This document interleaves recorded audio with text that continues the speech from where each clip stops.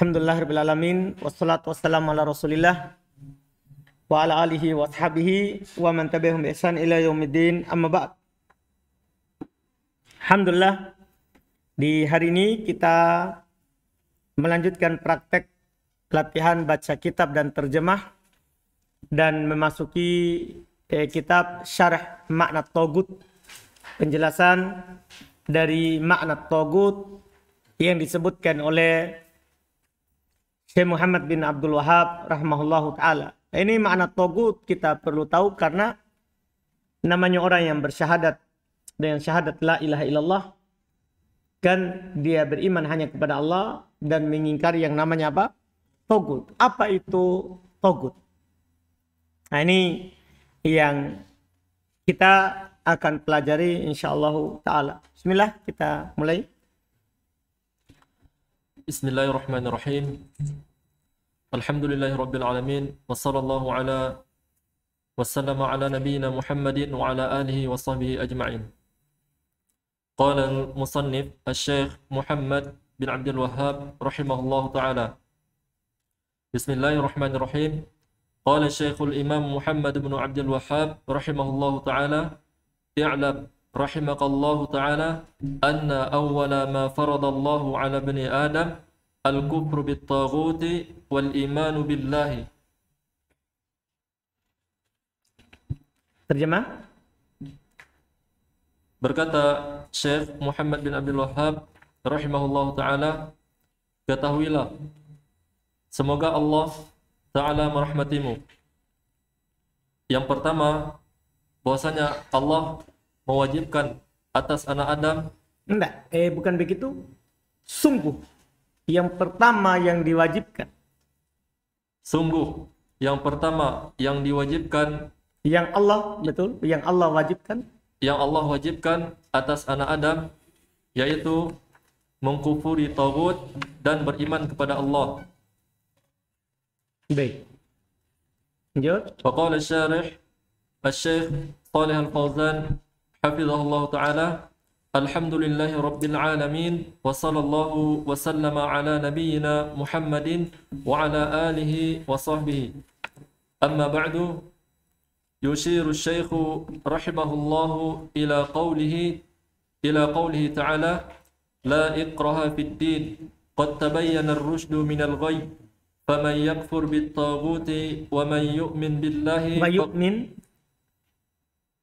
ويؤمن بالله فقد استمسك فقد استمسك بالعروة الوثقى لا انفصام لها والله سميع عليم. لا إكره في الدين. ليس معناه أن الكفار يتركون ولا يقاتلون ولا يدعون ولا يقاتلون. ولا يقاتلون ولا يدعون ولا يدعون إسلامي إلى إلى الإسلام كما يقولون كما يقوله الآن المغرضون والكفار والجهال من المسلمين بحجة حرية الأديان وحرية وحرية العقيدة هذا كذب على الله جل وعلا ليس هذا هو مراد الله جل وعلا.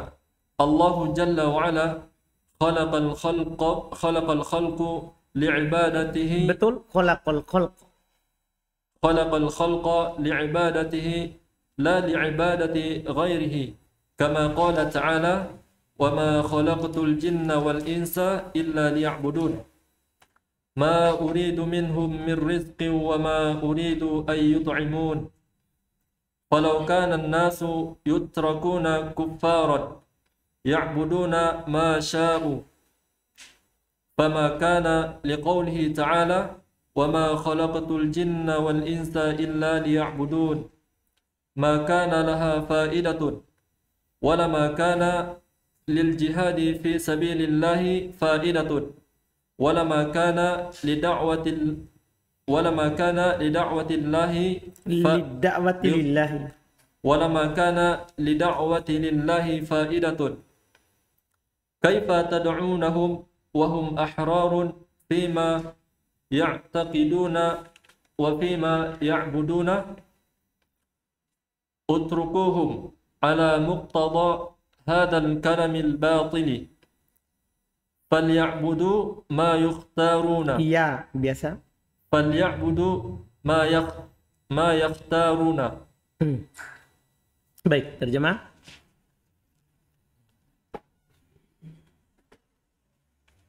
Berkata Syekh Saleh Al-Fauzan Hafizahullah Ta'ala Segala puji bagi Allah Rabb semesta alam Dan salawat Allah Atas nabinya Muhammad Sallallahu Alaihi Wasallam Dan kepada para, dan kepada para keluarganya Serta sahabatnya. Adapun setelahnya uh, Syekh Rahimahullah Mengisyaratkan Kepada firman Allah Tidak ada Yaitu ucapan beliau tadi anna awwal ma faradallahu ala bini Adam al kufru bitagut. Itu isyarat kepada firman Allah ini. Maksudnya ucapan beliau itu adalah ada dalilnya. Hmm. Syekh rahimahullah mengisyaratkan kepada firman Allah tidak ada paksaan untuk memeluk agama Islam. Sungguh telah jelas perbedaan antara jalan yang benar dan jalan yang sesat. Barang siapa yang ingkar kepada Tauhid dan beriman kepada Allah, maka sungguh ia telah berpegang pada tali yang sangat kuat yang tidak akan yang tidak akan putus. Allah Maha mendengar, Maha mengetahui. Nah, sekarang apa makna la ikraha fid din? Karena orang sana berdalil dengan potongan ini untuk mengatakan, eh, kamu bebas memilih. Iya, nah kita lihat maknanya. Apa tafsir? La ikraha fid din. Tidak ada paksaan untuk memeluk agama Islam. Bukalah maknanya bahwasanya orang-orang kafir eh, mereka ditinggalkan dan diperangi. Indah. Eh, begitu. Laisa ma'nahu bukan artinya orang-orang kafir itu dibiarkan dan tidak diperangi. Dah? Dan tidak diperangi. Bukan itu makna intilah ikrah fiddin artinya silakan terserah kamu. Tidak diperangi, ditinggalkan begitu saja. Bukan itu maknanya. Hmm. Bukalah maknanya orang-orang kafir itu ditinggalkan dan tidak diperangi dan juga tidak didakwahi kepada Islam. Sebagaimana sekarang orang-orang yang bermaksud buruk dan orang-orang kafir dan orang-orang serta orang-orang jahil dari kaum muslimin. Mereka mengucapkannya dengan hujah kebebasan di dalam beragama. Hmm, ini sekarang kan huriyatul adiyan mereka serukan. Dari orang-orang eh, ateis dan semisalnya. Huriyatul adiyan dan kebebasan di dalam berakidah. Berkeyakinan. Nah, yang penting dia punya keyakinan apa saja itu dia urusan. Ini merupakan kedustaan kepada Allah Jalla wa'ala. Atas nama Allah. Atas nama Allah Jalla wa'ala. Bukalah ini dia bukalah ini yang ini diinginkan. bukanlah Ini bukanlah yang diinginkan oleh Allah.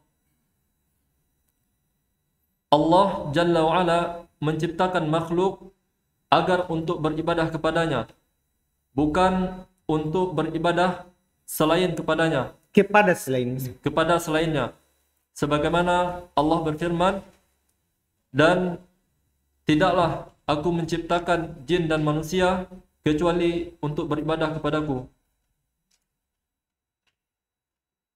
Aku tidak menginginkan dari mereka berupa rezeki dan aku juga tidak menginginkan kepada mereka berupa makanan. Walaupun seandainya. seandainya manusia di, uh, mereka ditinggalkan dalam keadaan kufur yang mereka beribadah sesuai dengan apa yang mereka inginkan maka untuk apa firman Allah? Apa uh, maka untuk apa firman Allah tidaklah aku menciptakan jin dan manusia kecuali untuk beribadah kepadaku. Tidak ada faedahnya dari firman tersebut. Dan eh, tidak ada faedah untuk berjihad di jalan Allah. Dan juga tidak ada faedah untuk berdakwah di jalan Allah. Bagaimana kalian akan mendakwahi mereka dalam keadaan mereka bebas dari berkeyakinan, dari beribadah dan dari berkeyakinan dan beribadah. Tinggalkan mereka di atas keharusan. Tinggalkan mereka di atas keharusan. Biarkan ucap- mereka. Ini biarkan mereka ini di atas eh, keharusan dari ucapan mereka yang batil itu tadi hurriyatu al-aqidah biarkan mereka di atas keharusan ucapan yang batil ini. Maka mereka beribadah dengan maka mereka beribadah apa yang mereka inginkan. Falau kana kama yaquluna inna an-nasa ahrarun fi ibadatihim i'tiqadatihim wa la yu'tarada ala ahadin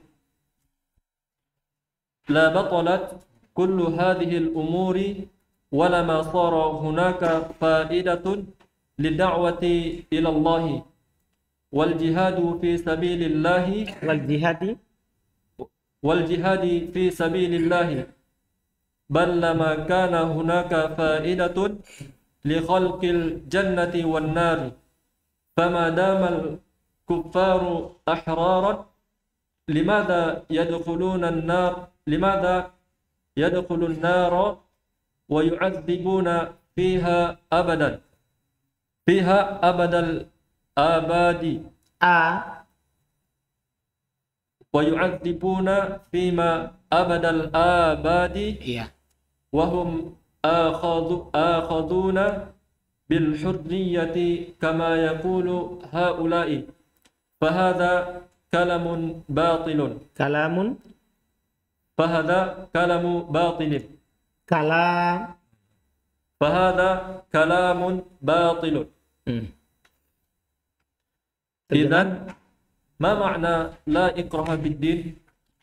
لأنهم يرددون هذه الآية يقولون الناس أحرار في عقائدهم لأن الله لأن الله لأن الله لأن الله يقول لا إكراه في الدين. نقول لهم كذبتم على الله. ليس هذا هو مراد الله جل وعلا بقوله لا إكراه في الدين بل فيها أقوال lil mufassirina. Hmm. Sampai situ dulu, terjemah dulu. Jika dikatakan kepada mereka bahwasanya manusia jika seperti yang mereka katakan jika seperti yang mereka katakan sungguh manusia bebas di dalam beribadah dan berke berkeyakinan dan tidak dibantah atas seseorang pun. Tidak dikritik. Sama juga. Hmm. terus? Maka batal seluruh perkara ini. Dan tidak ada di sana faedah untuk berdakwah kepada Allah dan juga berjihad di jalan Allah. Bahkan tidak ada faedah bahkan tidak ada faedah penciptaan surga penciptaan surga dan neraka. Maka selama itu orang-orang kafir bebas. Maka selama itu orang-orang kafir bebas. Mengapa mereka dimasukkan ke dalam neraka dan diazab? Dan mereka diazab di dalamnya. Selamanya dalam keadaan mereka mengambil kebebasan sebagaimana yang mereka katakan maka ini merupakan ucapan yang batil hmm. kalau seandainya artinya diberikan kebebasan kenapa ada orang masuk neraka ada orang masuk surga. Itu menunjukkan tidak diberikan kebebasan. Harus sesuai dengan apa yang Allah Subhanahu wa taala inginkan. Lanjut. Apa makna dari la ilaha eh, apa makna dari la ikraha fid din? Sesungguhnya karenanya mereka mengulang-ulang dari ayat ini. Hmm. Mereka mengatakan manusia manusia itu bebas di dalam berkeyakinan. Karena Allah mengatakan la ikraha fid din. Tidak ada paksaan di dalam beragama. Kami katakan kepada mereka kamu berdusta atas Allah. Bukalah ini yang diinginkan oleh Allah Jalla wa ala biqaulihi dengan ucapannya la ikraha. Akan tetapi padanya akan tetapi padanya terdapat beberapa penafsiran dari mufassirin القول الأول منهم من يقول إن هذه كانت في أول الأمر ثم نسخت بآيات بآيات الجهاد لا إكره في الدين القول الثاني أن القوله لا إكره في الدين خاص بأهل الكتاب من اليهود والنصارى فهؤلاء إذا دفعوا الجزء الجزية جد- الجزية وخضعوا لحكم لحكم الإسلام فإنهم لا يكرهون على الدخول لا. لا يكرهون على الدخ- على الدخول في الإسلام بل يتركون بشرط بل يتركون بشرط أن يدفعوا أن يدفعوا الجزية وهم صاغرون بشرط بشرط Hmm. بشرط أن يخضعوا لحكم الإسلام لأنهم على علم وعندهم علم بالد... وإنهم وعندهم علم بالدين والرسول والرسول ما هم مثل الواس مثل الوسائل mitlu. ما هم مثل ال... Oh bisa juga ya. Kita jadikan ma apa itu? Manafi hijaziyah al-musyabbaha bil ism. ما هم مثل الوثنيين Ma wasaniyin. mahum mislal wasaniyin. Tu'tul fursata liyuraji'u liyuraji'u ma indahum. Wa yata'ammalu fil qur'ani wa yata'ammalu fi ma indahum. Fayajidu anna al qur'an fayajidu anna al qur'anu yatawaffaq. Hmm, hmm. Ulang. Fayajidu. Fayajidu annal Qur'ana yatawaffaqu tamaman ma'a Taurati wal Injili Iya apa tadi? Ya tawaf betul? Ya tawafak panjang ya. Ya tawafak ya tawafaku tamaman ma'a Taurati wal Injili as wal Injili salimaini minal minat tahrifi. الباق الباقيين على أصلهما كما أنزل الله سبحانه وتعالى فلا خلف بين الكتب بين الكتب السماوية Fala khilafa. فلا خ- فلا خلاف بين الكتب السماوية أنها كلها Kullu. أنها كلها من عند الله جل وعلا في أمور في أمور العقائد أما أمور المعاملة والحلال والحرام فهي تختلف بحس آه، فهي تختلف بحسب الشر Biha. بحسب بحسب الشرائع وبحسب حكمة الله جل وعلا في كل وقت بحساب بحسابه Baik, terjemah lagi.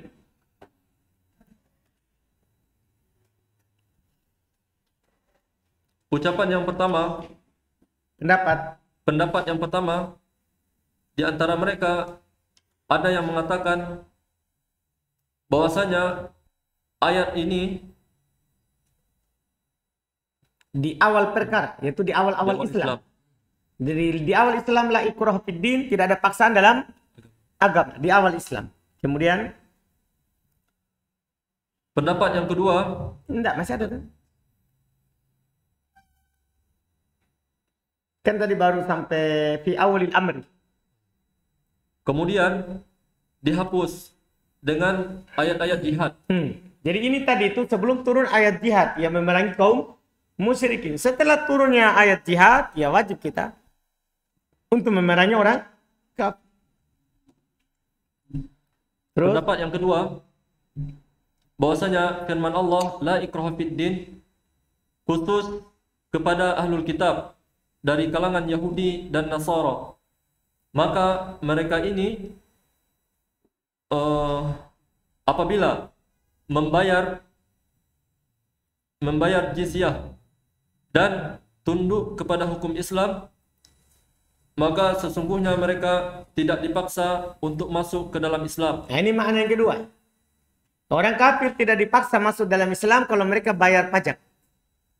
Kalau mereka bayar pajak. Bahkan mereka dibiarkan dengan syarat mereka membayar jizyah dan mereka dalam dan mereka Wahum itu yang kita pelajari waw haliyah. Dan dalam keadaan mereka dalam keadaan mereka rendah atau hina. Hmm, dan dengan syarat mereka tunduk dengan hukum Islam. Karena karenanya mereka di atas ilmu. Dan di sisi mereka ada adanya ilmu tentang agama dan para rasul Nih, orang Yahudi Nasara tahu akan ada Nabi Muhammad. Seharusnya wajib dia imani kan? Paham kan? Ya, ketika mereka tidak beriman, sudah mereka diperangi. Kalau tidak mau diperangi, upeti. Bayar pajak. Hmm. bukan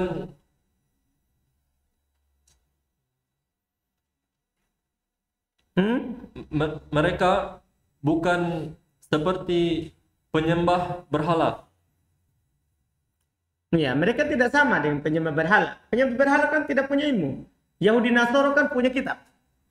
Ya kan mereka punya ilmu. Tidak sama dengan penyembah berhala. Kalau mereka penyembah berhala, mereka diberikan kesempatan untuk kembali kepada apa yang ada di sisi mereka dan mereka memperhatikan dan eh, dan mereka memperhatikan di dalam Al-Qur'an dan mereka memperhatikan apa yang ada di sisi mereka maka mereka mendapati bahwasanya Al-Qur'an sesuai sesuai dan sempurna dengan Taurat, Injil yang masih murni dari penyelewangan. Masih tetap di atas aslinya sebagaimana yang Allah Subhanahu wa taala turunkan. Maka tidak ada perbedaan antara kitab Samawiyah bahwasanya seluruhnya dari sisi Allah dari sisi Allah Jalla wa Ala dari perkara-perkara akidah dalam perkara-perkara akidah. Jadi Di dalam beliau bilang tidak ada perbedaan antara kitab-kitab Samawiyah, kitab Samawiyah maksudnya kitab yang turun dari langit. Tidak ada perbedaan. Bahwa seluruhnya dari sisi Allah Jalla wa Ala dalam perkara akidah. adapun perkara-perkara muamalat dan halal serta haram maka dia ber, berbeda sesuai dengan apa yang disyariatkan dan sesuai dengan hikmah Allah Jalla wa'ala. Pada setiap waktu sesuai dengan sesuai dengan masanya. Hmm. walakin al-aqaidu laisa bainal kutubi as-samawiyyati fiha ikhtilafun fiha ikhtilafun abadan. Annahu la yu'badu illallahu. جل وعلا وأن عبادة غيره باطلة. أجمعت الكتب أجمعت الكتب السماوية وأجمعت وجمعت وأجمعت الرسول. وأجمع وأجمع المسلمون من قديم الخليقة إلى إلى آخر الخليقة على أن العبادة أنا على أن العبادة لا تكون لا تكون إلا الله.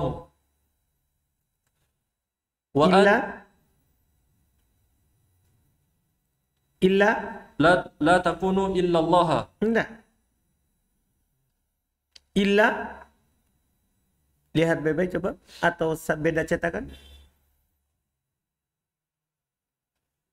Kalau anak illa lillahi. Antum ada alif? Nah, Ustaz. Ada? Tidak. Tidak ada berarti li.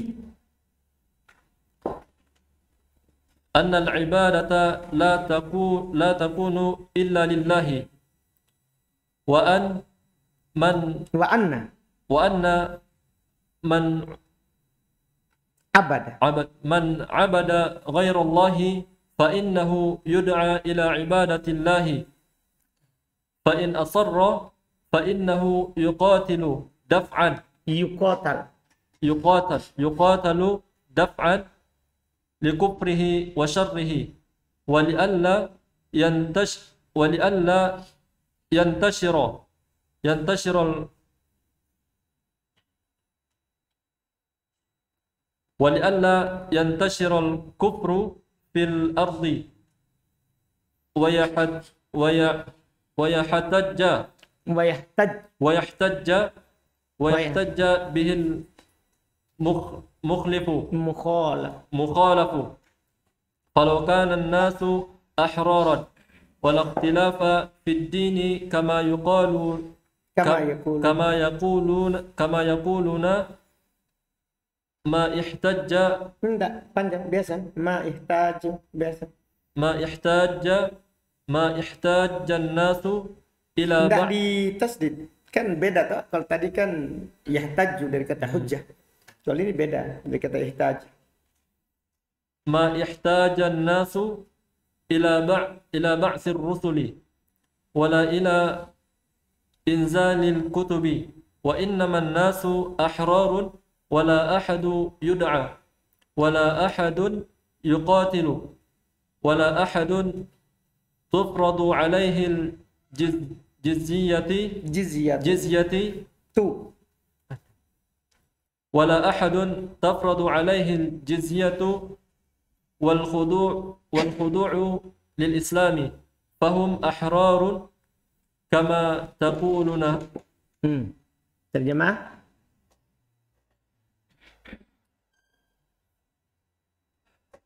Pendapat yang kedua bahwasanya firman Allah la ikrah fid din Udah tadi? sudah Yang di bawah. Walakin akan tetapi perkara akidah itu bukanlah pembeda antara kitab-kitab tidak ada antara kitab-kitab tidak ada antara kitab-kitab samawiyah di dalamnya perbedaan selamanya. Bahwasanya bahwasanya tidak dibedakan. Bahwasanya tidak dibedakan. Tidak boleh disembah. Bahwasanya tidak boleh disembah kecuali Allah Jalla wa Ala dan bahwasanya ibadah kepada selain Allah adalah kebatilan. Sepakat seluruh sepakat seluruh kitab-kitab samawiyah dan sepakat para rasul dan sepakat kaum muslimin dari awal penciptaan hingga awal makhluk. Karena al-khaliqa wazan fa'il maknanya maf'ul. Sepakat kaum muslimin dari yang awal makhluk Hmm. dari yang awal makhluk Dari makhluk pertama.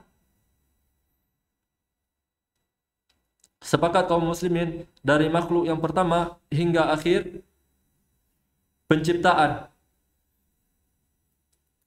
di atas bahwasanya ibadah tidaklah diperuntukkan kecuali kepada Allah dan orang-orang yang beribadah selain kepada Allah maka sesungguhnya eh, dia diajak kepada Ibadah kepada Allah. ke, ibadah kepada Allah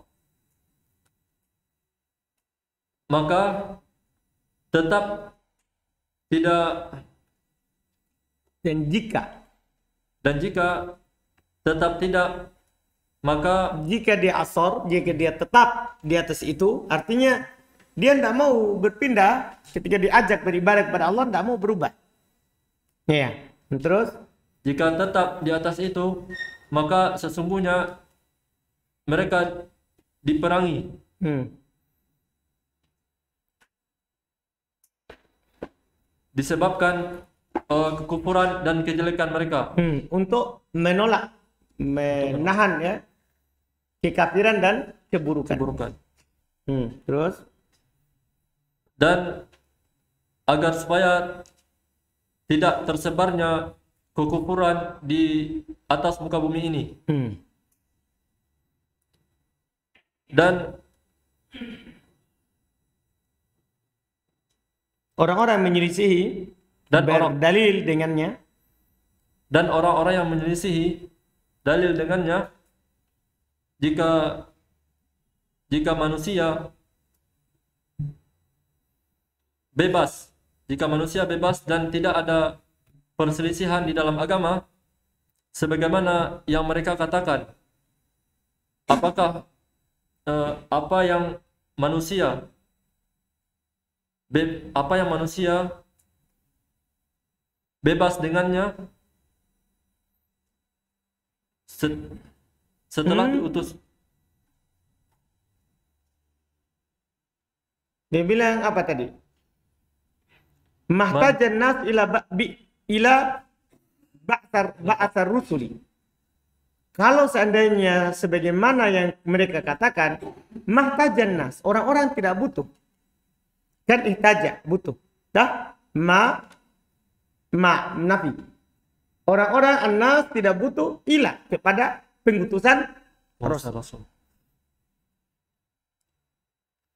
Maka manusia tidak butuh atas pengutusan para rasul dan dan juga tidak butuh diturunkannya kitab-kitab dan tiada lain manusia dalam keadaan bebas dan tidak seorang pun yang diseru dan tidak ada seseorang pun yang diperangi. Dan juga tidak diwajibkan. Dan juga tidak diwajibkan atasnya jizyah dan dan ketundukan kepada Islam. Maka mereka bebas sebagaimana yang kami ucapkan. Kalian. yang kalian ucapkan القول الثالث أن قوله لا إكراه في الدين خاص باليهود والنصارى قيل إنهم أسلم منهم ناس. فأرادوا أن يكرهوا أولادهم على الدخول في الإسلام فل... فلله أنزل هذه فالله أنزل هذه الآية هذه الآية في أنهم لا يكرهون وأما قولهم لا إكره في الدين أنه محمول على اختيار على على الاختيار والحرية. فهذا أمر فهذا أمر باطل. لا دليل عليه لا دليل.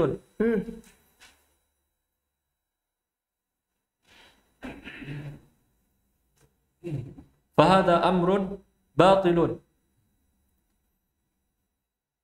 Terus? لا دليل عليه من القرآن Kan ayat nafilil jins kan? La nafilil jins. لا دليل عليه من القرآن بل أدلة أدلة الشرع كلها ترد على هذا Tarud. ترد على هذا Hmm.